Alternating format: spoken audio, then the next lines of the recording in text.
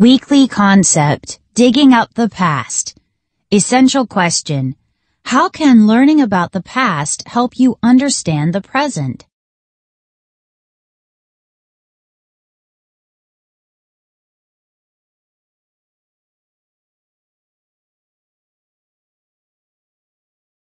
Time for kids. Treasures from the past. Archaeologists search for artifacts that will explain how people lived long ago. These clues to the past are a treasure trove of information about the foundations of our country and other countries. What are some places that archaeologists look for artifacts? Why is learning about the past important? How can it help us to understand the present? Talk about it. Write words that describe why the past is important. Then talk with a partner about a period of history that you are interested in learning about and explain why.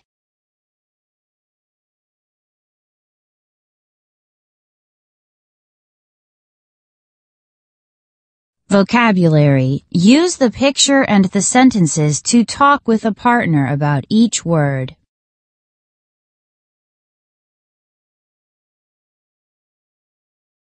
Archaeology. The graduate student in archaeology helped to uncover the ancient temple.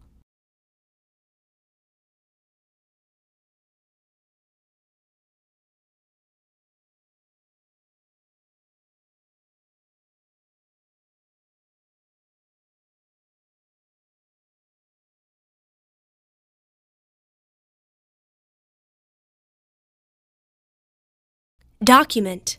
Helen writes in her diary so she can document the events of her day. Document. To document something means to keep a record. Document. To document something means to keep a record.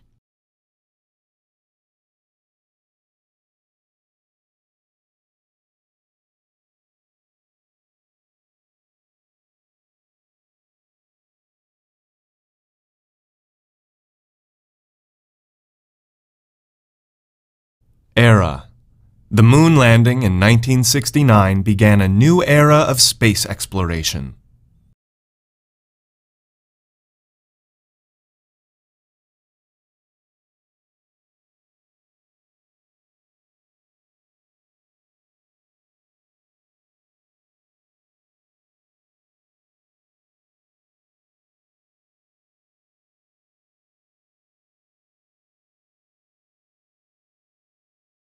Evidence.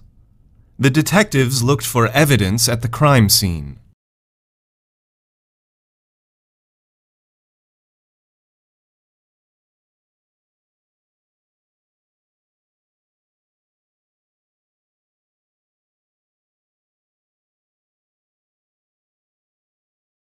Expedition. The wildlife biologist led an expedition to explore the rainforest.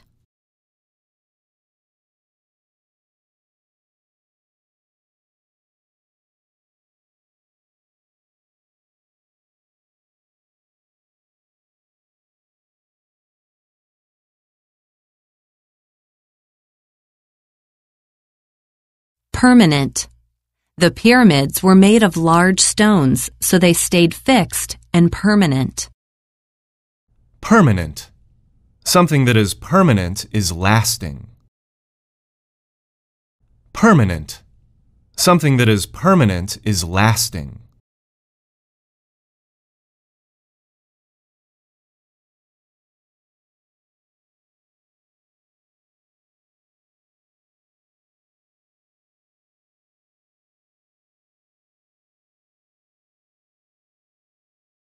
I can see a tremendous number of stars in the sky tonight.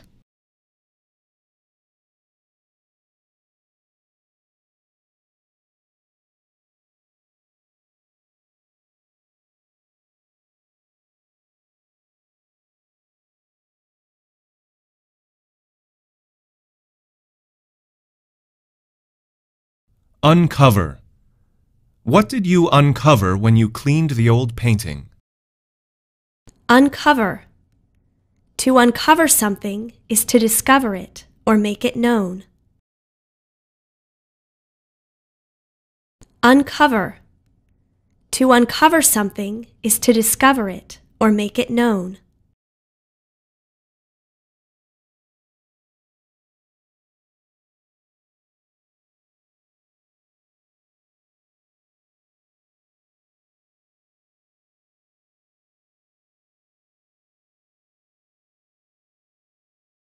Time for Kids Where It All Began.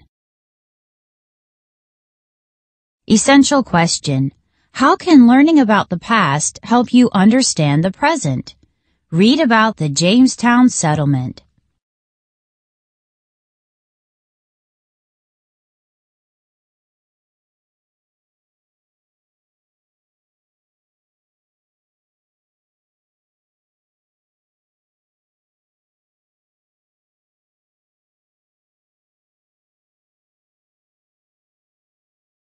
Take a tour of Jamestown, Virginia, the birthplace of America.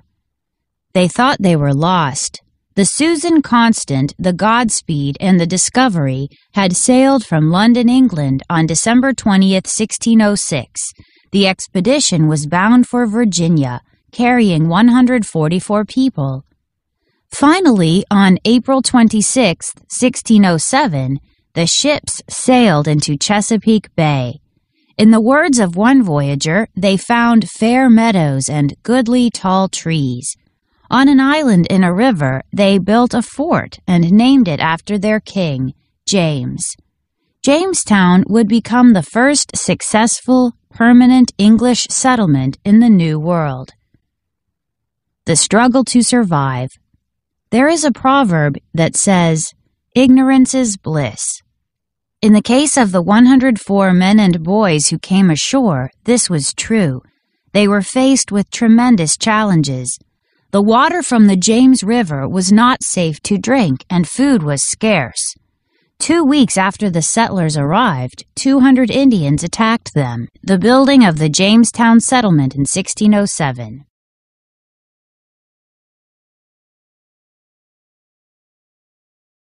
John Smith, an experienced military man, became head of the colony in 1608. He had been in charge of finding local tribes willing to swap food for English copper and beads. Smith was tough with both the Indians and Englishmen. He that will not work shall not eat, he told the colonists. Smith knew that an attitude of every man for himself would endanger the colony. The western Chesapeake area was ruled by Chief Powhatan, who governed an empire of 14,000 Algonquian speaking peoples. His daughter Pocahontas became a useful friend and ally to John Smith. Pocahontas saved the life of Captain John Smith, the real life Pocahontas. Princess Matoaka was born around 1595. Her father, Chief Powhatan, called her Pocahontas. She saved John Smith's life twice, and he wrote that Pocahontas's wit and spirit were unequaled. Pocahontas married a planter named John Rolfe, the first marriage in that era between an Englishman and a Native American woman. Rolfe, Pocahontas, and their son visited London. She never returned home. She fell ill aboard a ship bound for Jamestown in March 1617 and died.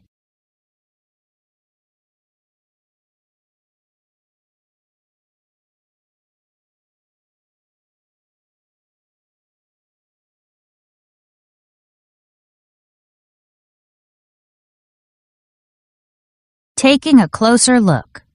Archaeologists digging in Jamestown have discovered Indian artifacts along with English ones, evidence that Indians lived in the fort for some time. It must have been a very close relationship, says William Kelso, an expert in colonial American archaeology. Kelso has worked for 10 years to document this site. His team has managed to uncover more than 1 million artifacts and has mapped out the fort's shape its foundations, and a burial ground. Jamestown left a record of greed and war, but it was also the start of representative government. The settlers gave America a solid foundation to build upon. Map Map of Settlement of Virginia, 1607 to 1700. Ohio, Pennsylvania, Maryland, New Jersey, West Virginia, Virginia, Delaware, Kentucky, Jamestown, North Carolina. Map Key Green Arrow Immigration English, French, Italians, Poles, and Africans. Orange Rectangle Extent of European Settlement 1700. Black Circle Village. Black Square Fort. Black Triangle Indian Reservation. Black Star Capital. Dr. William Kelso working on the archaeological dig in Jamestown. Make connections. Talk about what archaeologists have found at the Jamestown site. What would you have liked to ask John Smith about Jamestown? To summarize, retell the key ideas or details briefly in your own words. Reread where it all began and summarize sections of the text to make sure you understand the important information. Find text evidence. Reread the sidebar, The Real Life Pocahontas on page 368. Summarize the most important details. The Real Life Pocahontas, Princess Matoaka, was born around 1595. Her father, Chief Powhatan, called her Pocahontas. She saved John Smith's life twice, and he wrote that Pocahontas's wit and spirit were unequaled. Pocahontas married a planter named John Rolfe, the first marriage in that era between an Englishman and a Native American woman. Rolfe, Pocahontas, and their son visited London.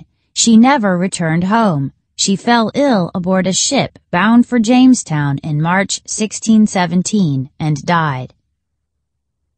Pocahontas was a famous Native American woman. She was the daughter of Chief Powhatan and saved John Smith's life twice. She was the first Native American woman to marry an Englishman. Your turn. Reread the section Taking a Closer Look on page 369 of Where It All Began. Summarize the most important details.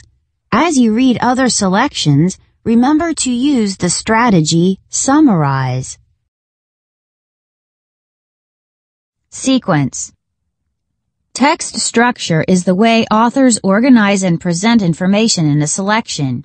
Sequence is one kind of text structure. Authors present key events in the order in which they happened. Look for dates and words that signal time. Find text evidence. When I reread page 367 of Where It All Began, I can look for dates and sequence words such as finally, next, and later to understand the order of the events in the text. Graphic Organizer Three ships sailed from London in 1606. Finally, the ships sailed into Chesapeake Bay in 1607. 104 men and boys came ashore. Two weeks later, the settlers were attacked. Caption, look for words that signal time. Your turn. Reread the real-life Pocahontas on page 368.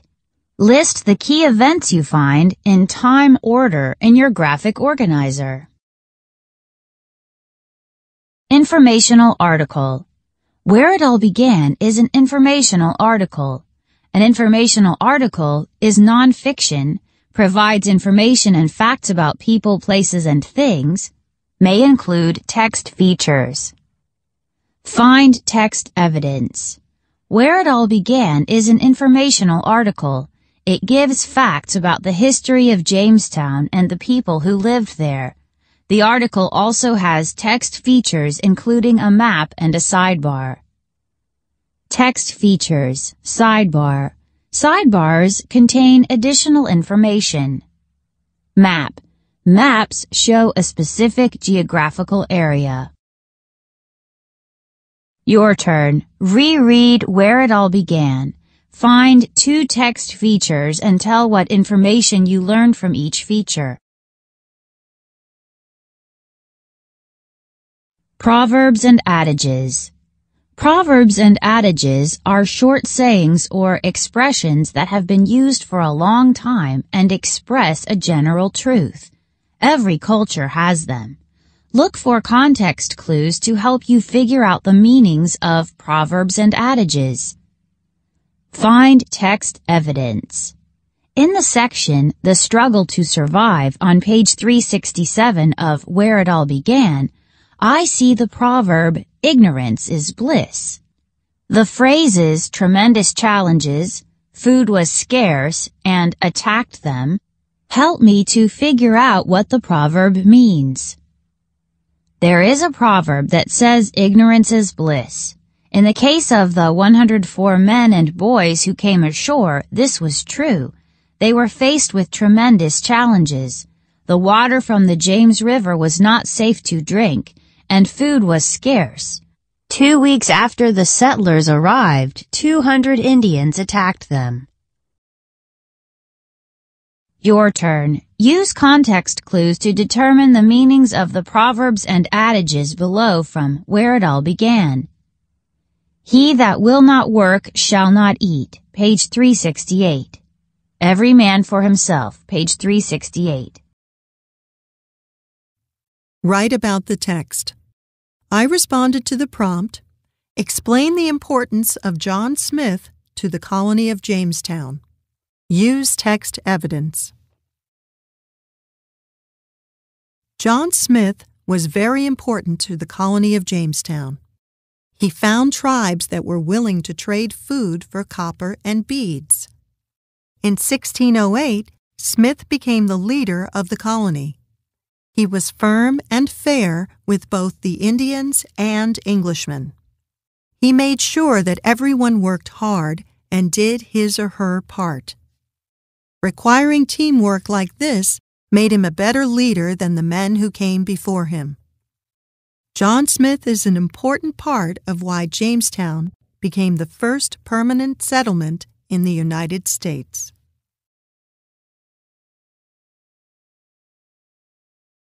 Topic sentence. I introduce my subject in the first sentence. Supporting details. I develop the topic with facts and details.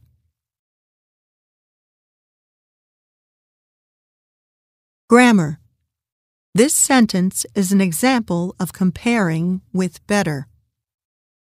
Strong conclusion.